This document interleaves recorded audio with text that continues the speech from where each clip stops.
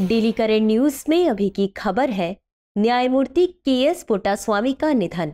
हाल ही में न्यायमूर्ति के एस पोटास्वामी का अंठानवे वर्ष की आयु में निधन हो गया।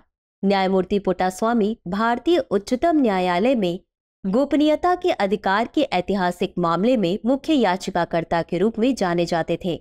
यह मामला भारत में नागरिकों के अधिकारों के संदर्भ में एक मील का पत्थर था और इसके परिणाम स्वरूप गोपनीयता के अधिकार को मौलिक अधिकार के रूप में मान्यता प्राप्त हुई। चलिए अब जानते हैं न्यायमूर्ति के एस पोटास्वामी के बारे में। इनका जन्म फरवरी 1926 में बेंगलुरु के निकट हुआ था। इन्होंने मैसूर के महाराजा कॉलेज और बेंगलुरु के सरकारी लॉ कॉलेज से अपनी शिक्षा प्राप्त की। इन्होंने उन्नीस सौ बावन में वकील के रूप में नामांकन कराया और अपने कानूनी करियर की शुरुआत की। वहीं 1977 में कर्नाटक उच्च न्यायालय में न्यायाधीश बने। जहाँ इन्होंने महत्वपूर्ण कानूनी और संवैधानिक मुद्दों पर निर्णय दिए। इन्होंने कर्नाटक उच्च न्यायालय में उन्नीस सौ छियासी तक न्यायाधीश के रूप में सेवा दी।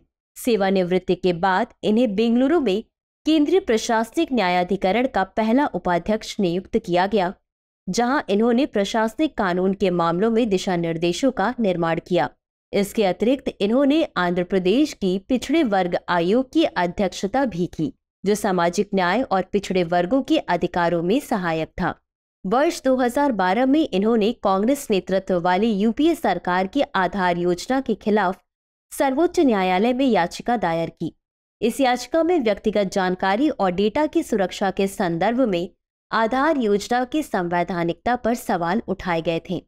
इस मामले का निर्णय वर्ष 2017 में आया, जिसमें सर्वोच्च न्यायालय ने गोपनीयता को भारतीय संविधान के अनुच्छेद 21 के तहत मौलिक अधिकार के रूप में मान्यता दी। इस ऐतिहासिक फैसले ने भारत में डिजिटल निजता और व्यक्तिगत स्वतंत्रता के क्षेत्र में बड़ा बदलाव लाया। इन्होंने मानवाधिकारों और नागरिक स्वतंत्रता के संरक्षण में महत्वपूर्ण भूमिका निभाई। इनके योगदान ने भारतीय कानून में निजता और डेटा सुरक्षा के अधिकार को मज़बूत किया, जिससे भविष्य में नागरिक अधिकारों की रक्षा का एक नया आधार बना। तो चलिए अंत में देखते हैं आज के अभ्यास प्रश्न को।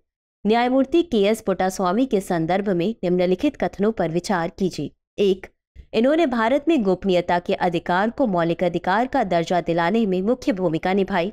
दो, इन्होंने कर्नाटक उच्च न्यायालय में उन्नीस सौ छियासी तक न्यायाधीश के रूप में सेवा दी। उपर्युक्त में से कौन सा या कौन से कथन सही है या सही है?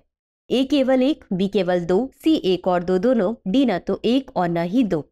इस प्रश्न का उत्तर कमेंट बॉक्स में ज़रूर दें। अभी के लिए बस इतना ही। धन्यवाद।